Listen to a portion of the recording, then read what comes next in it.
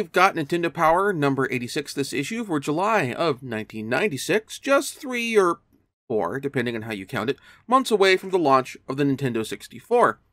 We're continuing to build up to that system, so we have not as many issue games this issue to talk about as we would normally, but we do have some actual titles this issue to talk about. Yay! Our cover this issue isn't one particular game, instead it's 3D art of Mario, Bowser, Kirby, and the DK crew. In the letters column, we have some praise for the rebranding of Nintendo Power Magazine, but what I really want to call attention to more than anything else this issue is we have some Tales of Phantasia envelope art. Considering this game, again, as of this point, has not received a proper United States English translation, this is basically getting its first real wide awareness outside of magazines that cover import games like your um like the import columns of your EGM and your diehard game fans and that sort of thing. That's a pretty significant bit there. Beyond just, oh, anime is getting more mainstream, here's this game as an anime art style, here's anime fan art. That's actually fairly notable. In the power chart, we have Earthbound, Mortal Kombat 3, Civilization, and Secret of Evermore returning to the Super Nintendo ranking. And we have a new arrival on the Game Boy chart with Kirby's Block Ball. The quote unquote genre ranking this issue is getting a little more loose with its um, qualifications as far as to get listed by having games based on TV shows. Seems appropriate that we're doing this issue right after E3 of uh, 2021 because this issue is the issue after E3 1996. A Nintendo showcased the N64 at E3 that year, so there's coverage. There's also additional discussion of the launch titles that we've covered several times previously, though they don't mention the developers and publishers who aren't staying with the platform and we won't be seeing in the future. So they're I mean, they don't mention Square, but they don't mention that Square's not coming back for the new for the new console. Uh, they are also desperately trying to hide the fact that the Game Boy, or rather to say, the Virtual Boy, absolutely failed by praising the price drop of the Virtual Boy to under $90. Yeah.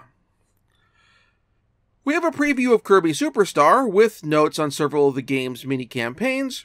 This game is the cover title for next issue, so I'm going to save it until then. We have a preview of Tetris Attack, a reskin and rebranding of Panel de Pon, a puzzle game which has very little in common with the, you know, Tetris puzzle formula, but is still a interesting looking puzzle game in its own right. And we have some notes on the game's game mechanics.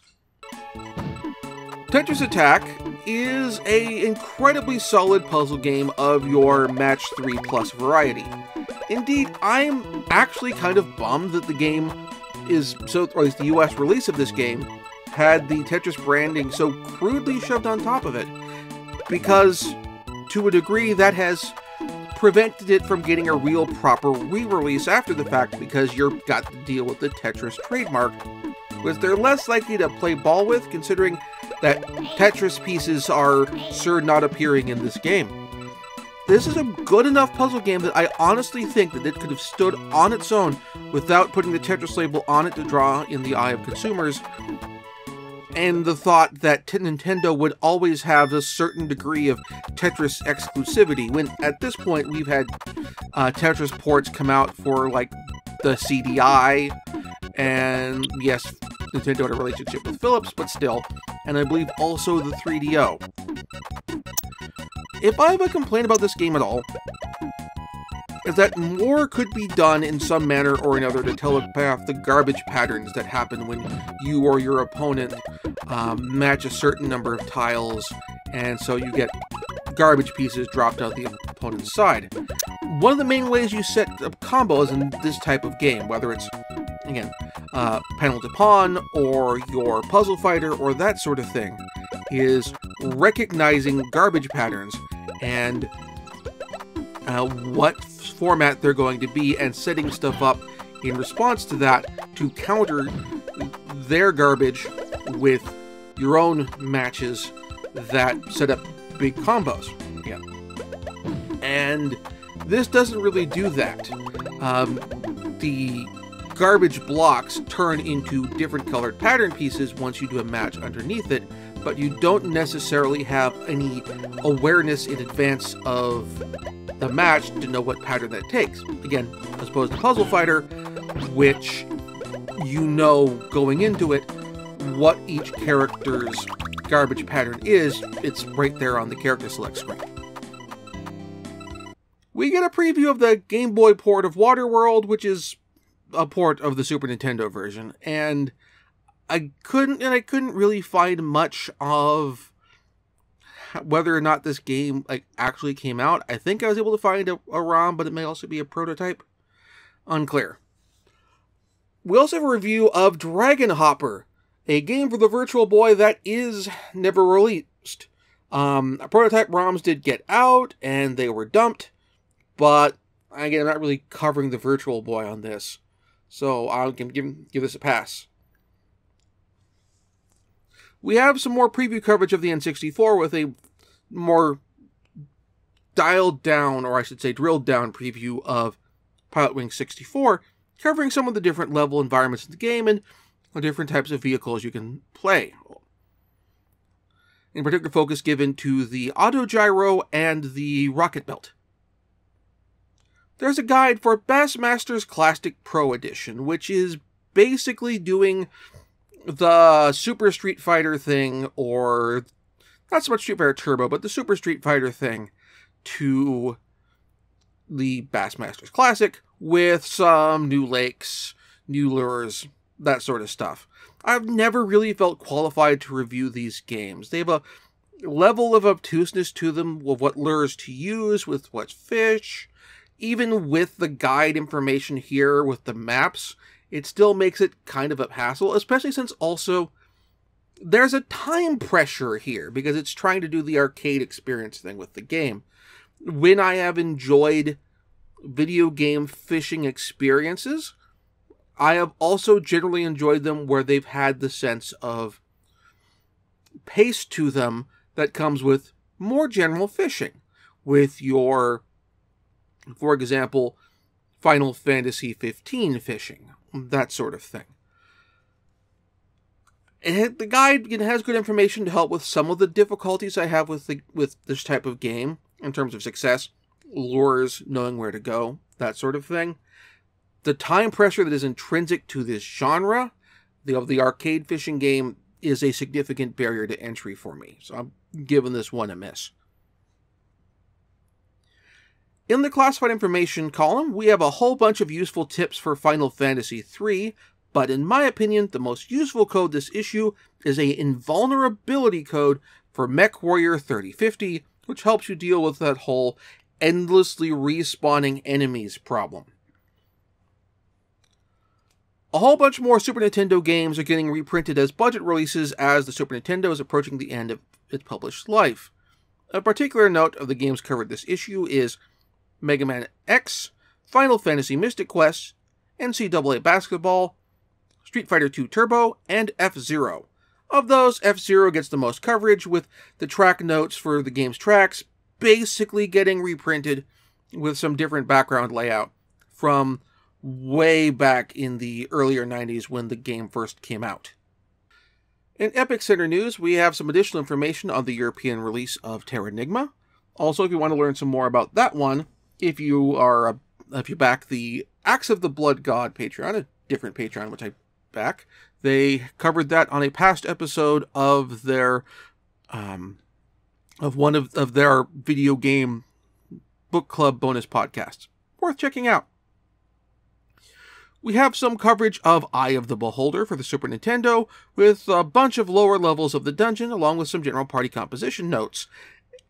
And I reviewed that game all the way back in episode 96. That's almost. Oh boy. Um. let's say 22 episodes ago. So I'll be skipping the return visit to Undermountain this time. We have some more coverage of Super Nintendo import JRPGs with the other big Super Nintendo import RPG from Wolf Team alumni with Star Ocean. And this one has more of a science fiction take, and unlike uh, Tales of Phantasia, this one has actually received very frequent US releases as opposed to being buried by its publisher. So the Star Ocean First Departure release is available from, among other places, on the PSP, uh, digitally through the through the online store, I believe, and also on the PlayStation 4, which means thus PlayStation 5, and the Nintendo Switch. So you have plenty of ways to play this legally. Though also with some additional voice acting and cutscenes and all that sort of fun stuff. We have a continuation of the strategy guide for Sword of Hope 2 on the Game Boy. And in the Epic Strategy column, we have a whole bunch more tips for Breath of Fire 2, including some information on how to get the good ending, along with various side quests. Moving on to, to our Game Boy title of the issue, we have the Marvel Valiant crossover game for the Game Boy, Iron Man XO Manowar, with the console releases coming out for the Saturn and PlayStation 1. I'm kind of surprised we didn't get anything coming out of this in the comics. We never got a Marvel Valiant crossover book that I'm aware of. Near as I can tell, this exists basically because Acclaim had the Marvel video game license, and Acclaim also owned Valiant. And because Acclaim didn't have any, weren't able to leverage this into anything further with Marvel, we didn't get much beyond that. I will admit I have not played the PlayStation or Saturn versions of this game, so I can't speak to how this game controls in comparison with those. This game is a strictly 2D platforming with a side of run and gun affair, and it is an awkward mess to play, particularly when it comes to shooting at mid-air enemies. Additionally, some of the levels can be exhaustingly large, which is awkward and unpleasant for a game on a handheld platform, and is aggravated by the fact that the controls don't really give you a way to look up and down in each level, which by comparison, you could do on lots of various plat other platformers on, not, not just like consoles, but other platformers on the Game Boy itself. You think there'd be some sort of navigation power-up or development to help you find your way around the levels and plan your actions. Maybe doing it, for example, where XO Manowar can scroll the screen in various directions to plan ahead, while Iron Man is some sort of radar. But sadly, we have nothing like that, at least not on the Game Boy version. Again, things could be radically different on the PlayStation and the Saturn. In Counselor's Corner, we have a bunch of tips for Lufia 2 and for Earthbound. And in another N64 preview, the N64 is getting what I describe as the Mortal Kombat equivalent of Street Fighter II Champion Edition, or that, or Super Street Fighter II. Uh, basically, with uh, Mortal Kombat 3, with a significantly expanded roster, with a whole slew of new characters in the works. Many of whom are like just brought back versions of characters from earlier games. Our last review of the issue is for the Brainies a puzzle game from Titus that looks to be some sort of cross between like Adventures of Lolo and Lemmings, calling from the art in the issue. Well, getting a hands on on the game, I'd say it probably actually plays something closer to a twist on Sokoban. In the sense that you are constantly moving and then trying to get your characters on particular blocks, with the side bit being that or the, the twist-ish, the direct spin being that the characters will constantly move until they hit an obstacle, at which point they stop, with also there being obstacles in environments, which will redirect characters' movements. So you have to account for those as well. It's it's fine. It's decent enough of a puzzle game. If I have a complaint, it's that considering the number of the puzzles in the game itself, there should be some form of password system if you're not doing game saves or unlimited continues, just so, you know, you don't hit episode uh, level 65 of all the puzzles and then run out of lives because you got stuck and have a game over. That sort of thing. That that that stuff like that's a pain and it's just mean to the player and don't do it. We have an article giving a bunch of notes for various final boss battles from all sorts of games and various across various genres. Like action games like Mega Man X3, fighting games like Killer Instinct, and role-playing games like Chrono Trigger. The only real also ran in the now playing column this issue is the strategy game War 3010. And in Pak Watch, we have a preview of Robotech, Robotech Crystal Dreams for the N64, which is a game that was ultimately never released. My pick for this issue is Tetris Attack, or Panel de Pon, if you can't find a physical copy of the of the US release of this game. Either one will work fine. Um, Panel de Pon is also, as of this recording, available through uh, Nintendo Switch Online, so there's that option available too. It's there's text in the game, but you don't really need it. It's not like it's got a big story going on to it. Um, it's like it's a good, basic, fun puzzle game.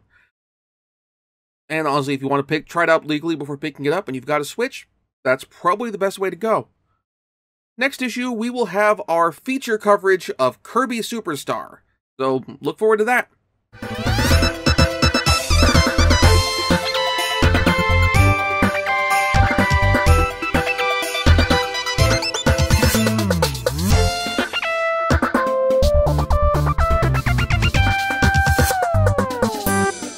Very much for watching. If you enjoyed the show, please like and subscribe. And also consider backing my Patreon. Patreon backers get episodes up to one week early of this show and any future Let's Plays.